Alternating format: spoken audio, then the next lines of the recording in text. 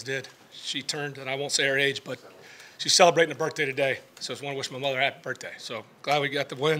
With that, fire away with questions. Yeah, uh, I guess start here. What, why wasn't Kyle Pitts involved in the offense for the first really three and a half Yeah, quarters? look, again, those are uh, surface narratives. You got to give the defense has a say too. And so, you know, it's a game of cat and mouse. And sometimes he's one on the progression, they took it away, and we go to other places. We try to get all our guys involved because he didn't touch the ball early. Doesn't mean he wasn't called. I mean, those are, uh, I mean, those are really surface narratives. But when you come up and the game's on the line, you know, they, they, they changed it up, and Matt found him when we needed to. So I was happy to see that. Well, Along those lines, how, how nice was it to see him pop open there on that last? It's big. It says a lot about him, right? I mean, you know, been around a lot of players. They try to do th- different things to take you away, or they're trying to take certain things that we're trying to attack them. And why I give the Giants a lot of credit. That's a smart football team. Uh, they're well coached. Got a lot of respect for Patrick Graham and those defensive players. And they sat in there, and there's always things we got to clean up. I told you guys whether we win or lose, we got to keep improving. And clearly, there's a lot of things for us to improve on. But at the end of the day, it says a lot about a guy like Kyle. Ball, you know, touched the ball for three and a half quarters, and two of the biggest plays in the game, he, he comes up big in the clutch. He's, Yeah. I was say, I'm sorry, he's a young guy, obviously. Have you had to talk to him to keep him from getting frustrated at all, or? He's exactly who we thought he was when we drafted him. Uh, you know, he's not even 21 yet, and that's not only the physical traits, the mental traits, Jeff. I think that shows up. What do you think the, the way your defense played today, what do you think that says about kind of their resiliency? Because it seemed like they really handled a lot of what the Giants did fairly well. Yeah, I mean, look, guys, it, it's it's we talk about this all the time. It's a 17 week grind now. We clearly didn't didn't play well enough weeks one and week two. We got a ton of things to improve on, um, and if you don't improve, like I said, we're not going to be the same team in September. And we get into October, November, and that's what the good teams do. And you find a way to improve. And defensively, there's things we felt were we didn't put them in bad spots. We played complementary football in all three phases. You know, won the field position battle in certain areas that let, let us get to that uh, first touchdown that we desperately needed. Now I don't like the fact that you know we got the ball and we gave it right back. Those are things we can work on. Got a chance to at least bang a field goal in there, knowing they're getting the ball after after half. So, but when they when they had to critical plays, it's going to say a lot about your culture. Uh, to me, the culture is when there's tough times. What does it say about you? You go week one, week two, you get in a game like this on the road. The easy thing to do would be to, you know, oh, here we go again. And these guys scratched and clawed and fought. And I can't say enough about these guys and their mentality. Speaking of avoiding that, oh, here we go again, feeling they get a touchdown and a two-point Sure. conversion early in the fourth quarter. What did it say? What did you see for the response you saw from both sides of the ball? Well, that's, that's who we want to be. It's never. It's not going to be perfect. We know we got a ways to go, uh, but you can see when we needed the first, the last two drives, guys stepped up, stepped up, went, went down the field, scored a touchdown, kept swinging, and found different ways in the clutch. Uh, Jake Matthews, Patterson made a huge play.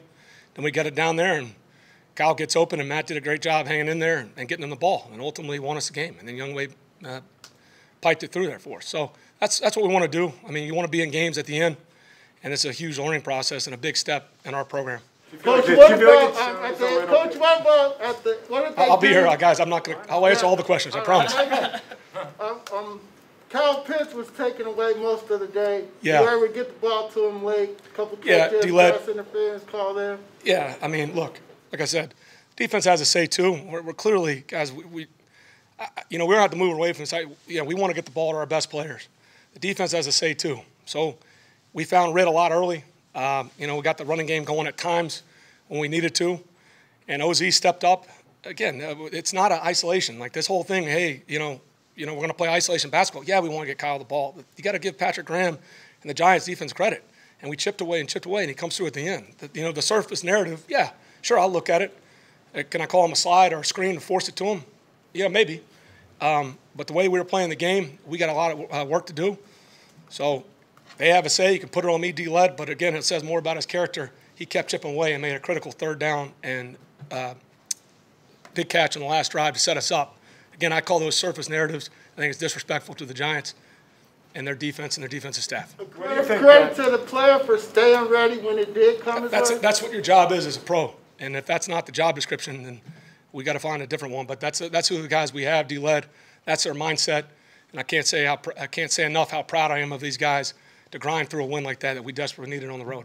You, you were talking before a little about how this is a big step. What do you think it says about the level of buy-in that your players have, that you're able to do what you did last week initially before Sure. the fourth quarter, and then do what you did in the fourth quarter today?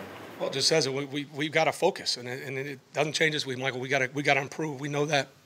It's not going to change us because we won. That's the name of the game, and that's what we're preaching, is growth and improvement. And hopefully we see, see that again this week.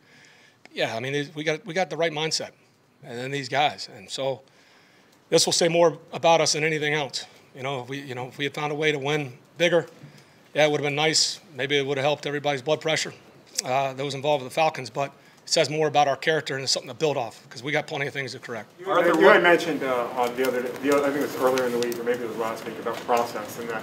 Sure. You you know, you want to look at your process. Seeing how this has kind of progressed, does this make you feel more comfortable in what your process has been? Well, you got a belief, you know, uh, you're always willing to adapt, Michael. And it's a thing, you've got to be objective. You got to have core beliefs, and you always got to be able to adapt and innovate. And I'll look at the film, obviously, as a staff, what we can do better, but we're constantly doing that. And hopefully, this is a, is a step that can get us going, moving forward in a, in a positive direction. You know, to win a tight game like this and play good situational football at the end as a team in all three phases, hopefully, we build off this. Can I ask you, just on a Sure. personal level, uh, the feeling of getting your first win as a head coach, and, and what, what do you think you'll take away most from this day? Sure, I I think years from now you look back and say, but I'm so focused. Um, you know, it really, it's it's about everybody in this organization, about the players, the staff, the whole organization, top down, and bottom back up. A lot of people put a lot of work into this. We're a team, and uh, and credit goes to them, not to me. And you know, hopefully, get a lot more wins than just one.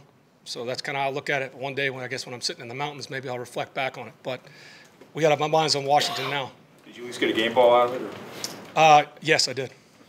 When you, you send a guy like Younghoe out there kick like that, are you, are you less nervous because of who he is? Well, I mean, we got to believe them. That's why they're here. And you know, it's at that point, it's that's the, the players, the ones that, that go make it happen. And I, we got all the faith in the world in Younghoe. And same thing with Cam. And don't discredit Cam. Just like, you know, uh, Jalen was a low hanging fruit from week one. Cam was a low hanging fruit last week. You stick with them, see how they respond. He made some hell, hell of plays with some of those punts. So again, it's not perfect, but that's why we, you know, we we make the transactions we do, but we have a belief system and allow guys to improve. How big was that thirty-seven yarder right, uh, early and late in the second quarter that kind of flipped the field, quarter real down, that was a big. Absolutely. punt. That was a big time play. punt, but Yeah, in a, in a game like punt. this, D-led, that, that, you know, that's a good observation because that is a huge play. That, that's a, those are winning football plays, and, and I'm proud as hell of Cam. You know, he stepped back and bounced back. That's what you want to see. You mentioned OZ. He made a couple of big catches for you. The one in the first half, how critical is just that moment to make that catch the way things were going? Yeah, I mean, every obviously when it gets to a game like this, um, every possession is magnified. Uh, most are in the NFL, but especially one like this. You know, it wasn't wasn't the prettiest day of offensive football.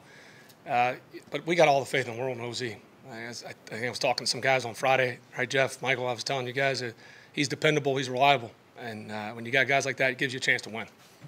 You talked about uh, character and hanging in there and stuff. Were there times today, whether it was at halftime or whatever, where you had to talk to the players and say, guys, just stick with it, just keep going? Yeah, they had a good mindset. You know, Jeff, I think, um, to be honest, I think that was a big, big challenge, you know, after week one. You know, you know, we got out and, and jumped out and, and like I said, it, and then it got, got, got away from us, right? We came out and, and then didn't go our way. And I, I didn't like that, the feeling on the sideline in that second half.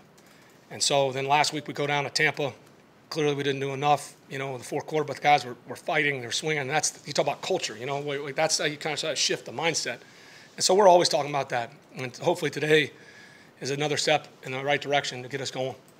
How did you, going back to like you said, you didn't like the, what was going on in the second half in week one on the sideline. How did you go about making that shift or kind of trying to eliminate Well, it's that? all of us. You know, you, you, it's either like that's why I don't have this fixed position that that's the way it's always going to be. Maybe I'm crazy, but I believe you can change it. And we, we talk about it, we show plays, and, and try not to let guys to do anything more than what we're asking them to do. I think that's happens sometimes. The guys think all of a sudden you got to make a play, and they they go off script, and you know you, the unintended consequences are you could you know screw the, the, the scheme. And so you know that's that's one thing, and then just the belief, guys like you have to have tunnel vision and just go and just build off it.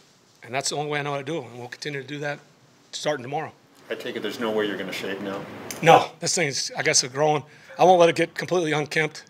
Try to look like some of you guys back there. Um, yeah, my wife suggested it, so we'll see.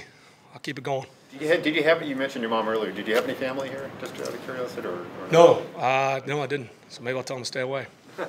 Your, your wife suggested, your wife suggested it because she likes the look, or she's just looking for something to shake you out of oh and two? Uh, probably both. Yeah. Probably both. Is this- is a regular season beard then, not the antithesis of a playoff beard? Yeah, I don't think you can call it. Just get a win beard. How about that? all right Anything else? Anybody, anybody got anything else? You guys good? Yeah. Thank you. Thank you, guys.